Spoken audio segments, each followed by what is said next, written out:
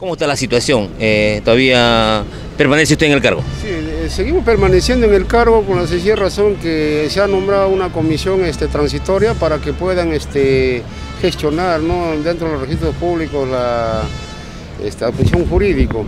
Y según eso ya vamos a hacer una, una convocatoria para que puedan este, entrar al nuevo presidente. ¿Qué falta? ¿Qué falta para que se Este, acá 15 días posiblemente salga ya toda la resolución del registro público y según eso ya hacemos. pues.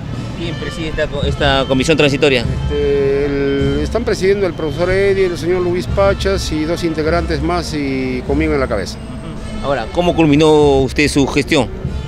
Bueno, hay que hacer los últimos dos, un año más del balance general y entregar para que el pueblo siga progresando, pues no, como debe ser. ¿Qué ha quedado pendiente dentro de su gestión? Este, ha quedado pendiente pues la, mm, la po- poza de oxidación, que es, este, hemos, oh, este, hemos estado dentro del presupuesto participativo de 2017 y nos han designado pues eh, una cantidad de 2.800.000 soles. Posiblemente en esta semana he conversado con la alcaldesa, en mes de septiembre deben estar poniendo la primera piedra.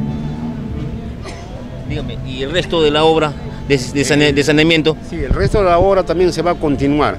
Y este año tiene que ser sí y sí, dice la señora alcaldesa en la última conversación que hemos tenido.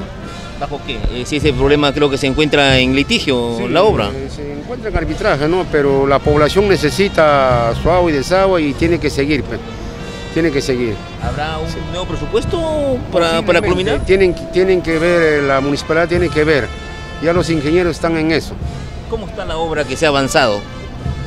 Pues la obra se ha quedado como ustedes han visto, igualito, ¿no? Y ya con la poza de oxidación, todo eso ya va a salir posiblemente ya en conjunto, pero no- porque sin pozo de tratamiento también el desagüe y el agua pues no, no va a funcionar como debe ser, ¿no? Tenemos problemas ya con los japoneses de abajo. pues. Así, se habló en un momento de que estas obras que se han avanzado eh, se estaban deteriorando. ¿Esto es cierto? No, elevado. No, no, no, no, no. Deteriorarse no se deterioró. Yo soy de la construcción civil y posiblemente esos armados de concreto son armados especiales, no es cualquier cemento. Son premezclados y hay gente que en realidad no sabe de, de construcción, ¿no? Tal vez se comenta de esa manera. pues. Ahora, ya saben ustedes el terreno donde se podría construir esta poza de oxidación. Sí, en ese estamos, en ese estamos, a dos kilómetros hacia el trébol, hacia abajo creo.